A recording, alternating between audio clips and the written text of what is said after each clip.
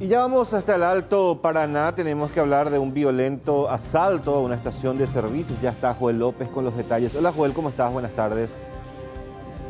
Rolando, ¿qué tal? Buenas tardes, Amalia y a todos los televidentes, el cariño de siempre. Bueno, hablamos de este violento atraco ocurrido aproximadamente a las 23.30 del domingo. Los marginales llegaron a bordo de un automóvil, tres de ellos eh, descendieron, ingresaron al interior del mini market de esta estación de servicios ubicada en el barrio San José de Ciudad del Este.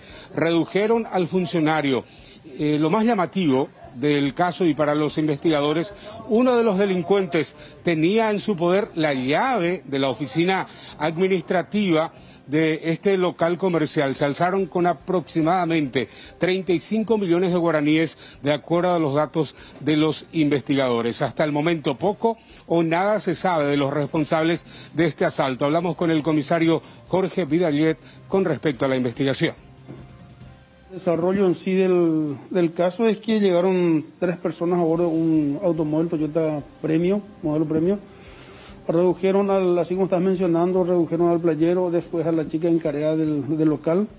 Y lo llamativo del caso es que se puede apreciar en las imágenes, nosotros estamos, eh, tuvimos acceso a eso, y se puede ver que el, uno eh, de los delincuentes eh, saca de su bolsillo la llave y entra a la oficina administrativa donde está guardado el dinero, que son aproximadamente, según las la manifestaciones, sería aproximadamente 6 eh, a 9 millones que en el transcurso de esta mañana ellos eh, tendrían el arqueo exacto del, eh, del, monto robado. Bueno, en cuanto a eso tenemos la terminación de la placa del vehículo, también tenemos, se puede apreciar en las imágenes eh, el rostro, eh, yo creo que en el transcurso de, estos días, o sea, en el transcurso de horas vamos a tener ya por lo menos algunas pistas que indiquen cuál sería la verdadera identidad de esta persona. Sabemos bien cómo se ingenian los delincuentes, no, nosotros no vamos a presumir que sea una chapa eh, auténtica original. Lo más probable es que sea apócrifa, pero normalmente se suele utilizar en varios eh, otros hechos, ¿verdad? Pero no obstante estamos trabajando en eso para determinar si qué relación tendría con otros eh, con otros hechos acontecidos mm, no, sé, en esta semana. Evidentemente que existió o existe cierto contubernio de, de parte de alguien de adentro, porque para que tenga en su poder la llave, evidentemente que alguien le, habrá, le tuvo que haber proveído. Por eso es lo que llama la atención y y ahora estamos realizando esas averiguaciones pertinentes para determinar si quién o quiénes podrían tener participación aparte en el hecho.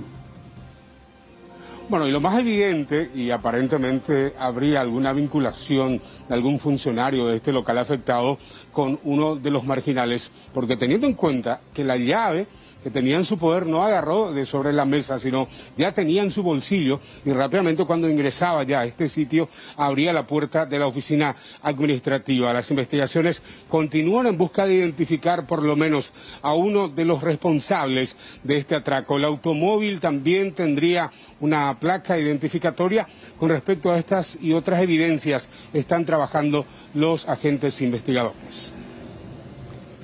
Muchas gracias desde el Alto Paraná con relación a este terrible hecho de violencia. Nosotros tenemos más noticias.